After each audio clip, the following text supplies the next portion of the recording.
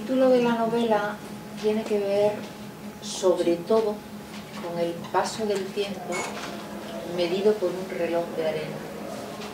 Yo tengo en mi casa un reloj de arena que mide más o menos una hora, reloj grande y me gusta trabajar con el reloj. Le doy la vuelta, se la vuelvo a dar, se la vuelvo a dar y estoy controlando el tiempo. El pasado se vuelve futuro, el futuro se vuelve presente y de pronto, a veces, ahora se oye, de pronto a veces el reloj mío, que es de arena, se para. No es normal ver un reloj de arena parado. No pasa siempre, justo cuando yo quiero que se pare, cuando viene alguien a casa lo pongo, vamos a ver si se para, y no se para, como los niños que les quieres que hacen una granja y no la, no la hacen, pero de vez en cuando se para. Y entonces la primera vez que yo vi esa arena arriba, que no acababa de caer, y que su estado natural es estar cayendo, pensé en el tiempo detenido, ese es el tiempo detenido. Es el tiempo que pasa muy lentamente. Los relojes de arena eh, no suenan, la arena cae silenciosa, cae muy despacio, pero va cayendo y cayendo y cayendo y cuando te das cuenta, de repente, pues han pasado ocho años. Este libro he tardado cuatro años en escribirlo.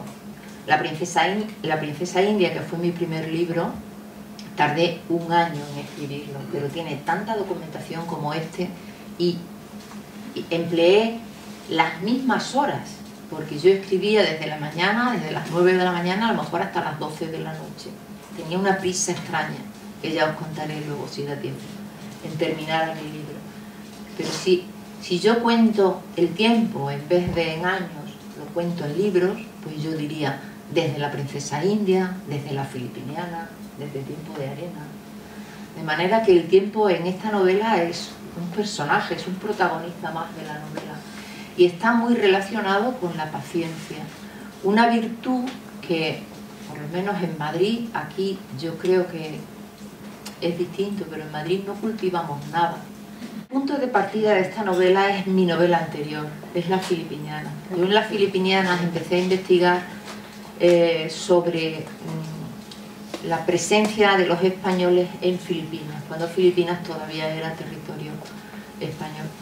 Y entonces empecé a investigar porque mi abuela era filipina, mi abuela había nacido en Filipinas y claro, tener una abuela filipina en Zafra pues era muy importante.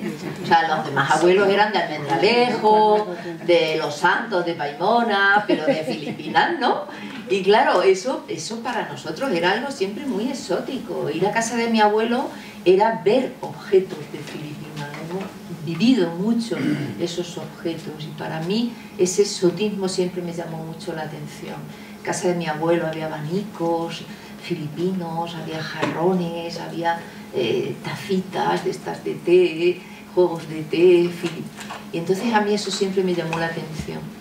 Y empecé a escribir las filipinianas en homenaje a mi abuela materna. ese es el arranque, ¿no? Luego ya pues todo lo demás es imaginación, es desarrollo de esos personajes que yo les tenía mucho cariño en la filipiniana y me daba pena que no, que no tuviesen una continuación y por supuesto habrá una tercera novela.